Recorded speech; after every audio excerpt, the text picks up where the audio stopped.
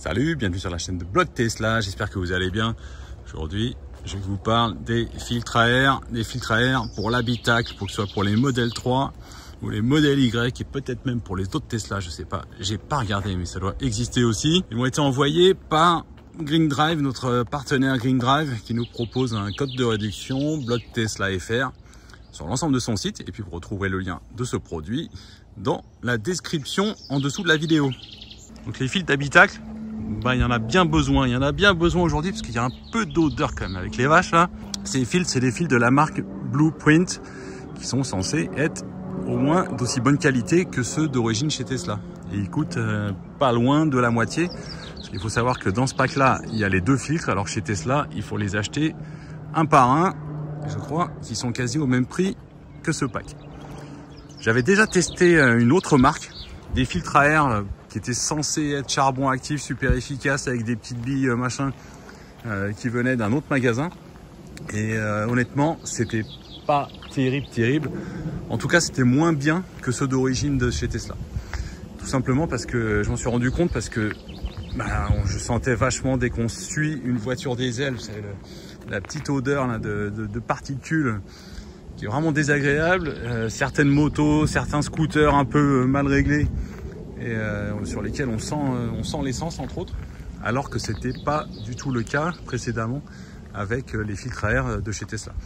Donc je vais ouvrir ceux-là et puis on va les tester sur la route. Je vous donnerai mon avis entre ceux d'origine, ce charbon actif d'une autre marque et ceux-ci de Blueprint by Green Drive. Unboxing des filtres à air. Donc il y a bien les deux dans la boîte.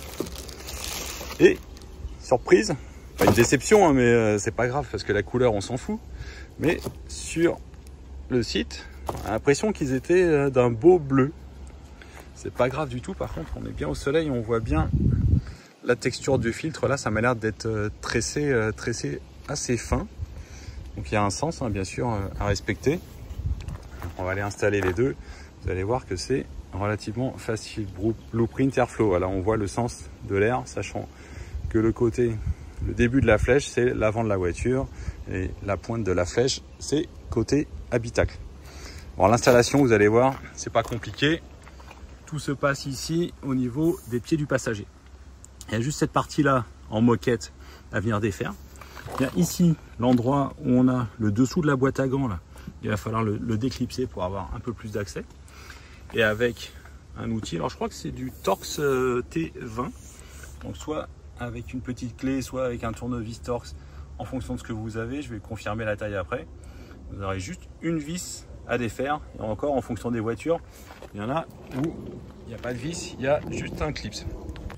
Première chose à faire, vous venez ici, vous passez vos doigts, réussir à gripper la moquette, pousser ou enlever votre tapis si jamais ça gêne. Il y a quelques clips derrière.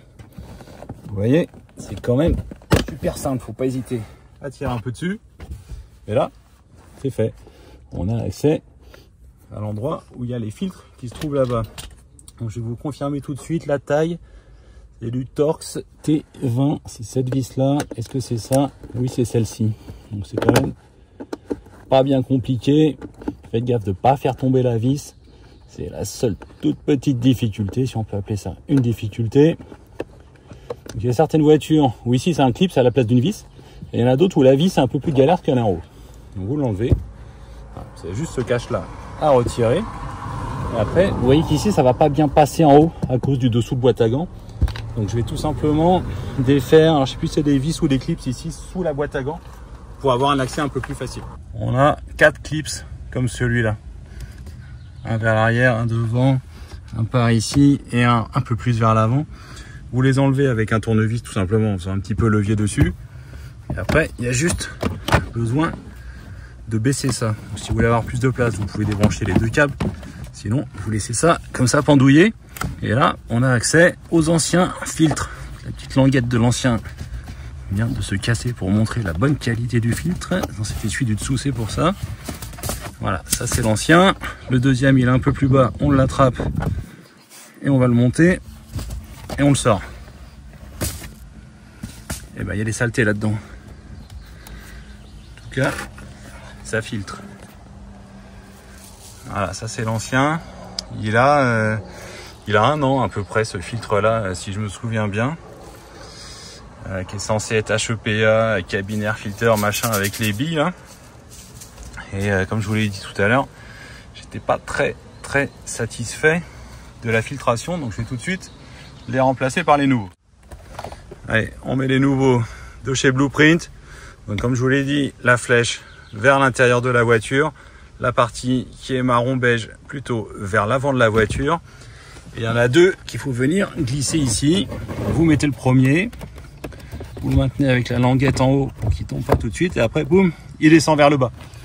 J'espère que vous avez bien vu. Et ensuite on a juste à venir positionner le deuxième tout simplement par dessus donc il y en a deux qui sont positionnés l'un sur l'autre. Voilà. Ça on le pousse on referme pareil en haut la petite languette là important de bien la descendre qu'elle vienne pas gêner le clips et on remet simplement cette pièce avec notre vis ici. Et c'est terminé. Il ne restera plus qu'à remettre les quatre clips pour la boîte à gants, remettre le côté ici qui est en moquette. Et c'est fait. Vous avez fait l'entretien filtre air d'habitacle de votre Tesla. Merci à Green Drive hein, qui nous a envoyé ces filtres Blueprint pour que je puisse vous les présenter. Et puis euh, le code de réduction bloc Tesla FR qui nous permet à tous de bénéficier d'une réduction, non seulement sur ce produit, mais aussi sur l'ensemble du site de Green Drive. vous savez ce qu'il reste à faire maintenant? Ben, C'est d'aller prendre la route.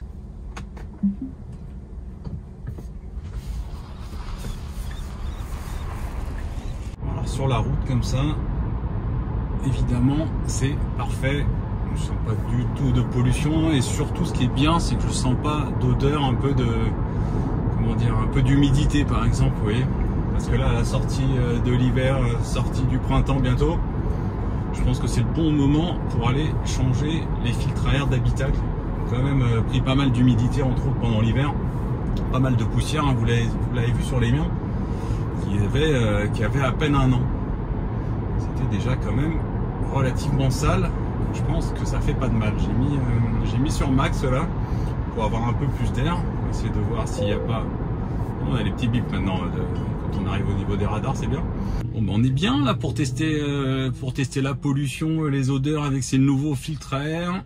Qu'est-ce que j'ai au niveau de la ventilation? Donc je l'ai laissé auto, par contre je l'ai mis sur max pour avoir un peu plus de flux d'air, pour le sentir le mieux possible, si jamais il y avait quelque chose à vous dire. Pour l'instant, je sens juste rien, rien du tout. Écoutez, on a fait pas mal de tests hein, là, y compris dans des embouteillages. Juste avant, il y avait deux scooters, il y avait un camion, un paquet de voitures arrêtées au feu rouge. Honnêtement, je ne sens rien du tout. Même en mettant euh, l'aération, non pas sur auto, mais un peu plus fort, on peut le faire ici, je ne sens absolument rien. Donc non seulement je sens plus les odeurs un peu d'humidité qu'on avait précédemment à la sortie de l'hiver et bientôt la sortie du printemps, c'est normal, je pense que les filtres avaient besoin d'être changés même après un an. Et surtout, je ne sens plus les autres voitures, les camions, les motos. Alors je dis pas que ça arrivera jamais, mais en tout cas, c'est clairement plus efficace que les filtres à air que j'avais précédemment, qui étaient soi-disant HEPA, super charbon actif, machin. Là, on est au moins au niveau euh, de ce que propose euh, Tesla d'origine. C'est-à-dire qu'on n'y pense pas et on sent pas les autres voitures. J'avais été un peu déçu euh, avec l'autre produit que j'avais testé. Là, c'est top. Je vous le recommande. N'hésitez pas à aller faire un tour sur le site de Green Drive. Encore une fois, code de réduction Bloc Tesla FR. Et puis retrouvez-nous sur le site de Bloc Tesla dans la rubrique des accessoires où on parle entre autres de ces filtres à air et de tous les autres accessoires pour les Tesla. À bientôt pour d'autres vidéos. Salut